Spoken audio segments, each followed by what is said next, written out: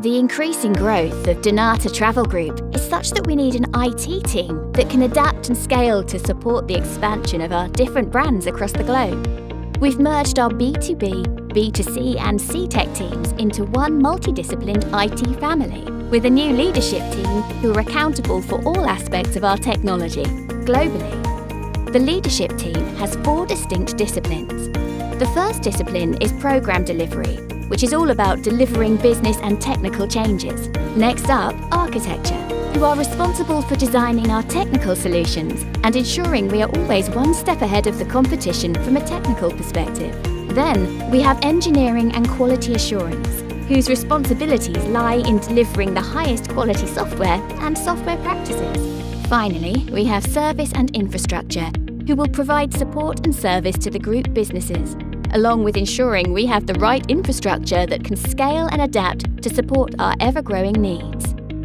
With this new structure in place, we are now well positioned to make our IT best in class dnata Travel Group's IT team delivers changes and supports to over 20 brands, with more to come. It's been a busy year for the IT team, so let's take a moment to reflect on what we've achieved together. In the last year, across all of our B2C and B2B platforms, we sold over 880,000 hotel rooms from a stock of 440,000 hotels, which means on average, we sell a hotel room every 50 seconds and during peak every 20 seconds. To do this in near real time, we update our hotel inventory every second of every day. We've sold over 350,000 flights from over 50 flight operators, connecting over 1.3 million happy holidaymakers with their holidays we have achieved 260,000 transfers and helped 90,000 people have fun at attractions around the world. In the last 12 months, we've achieved many milestones that include Netflights migration,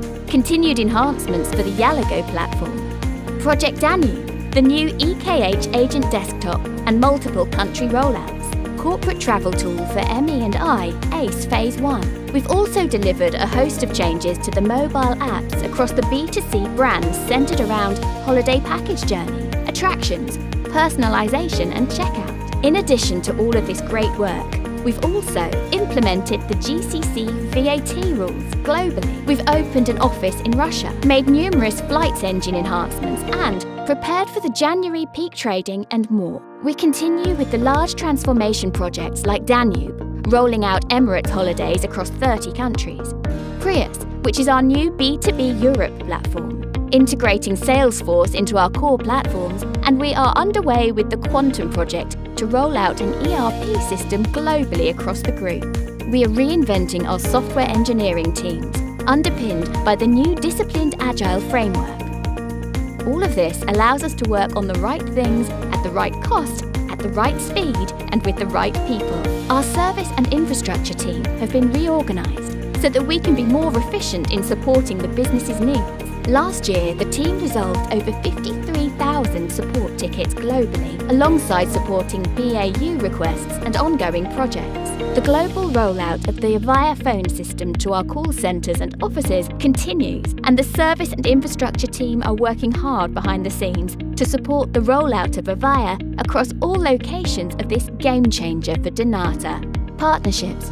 We have also engaged new partners to help us deliver key objectives mature the function, and enable us to scale to meet demands from our brands.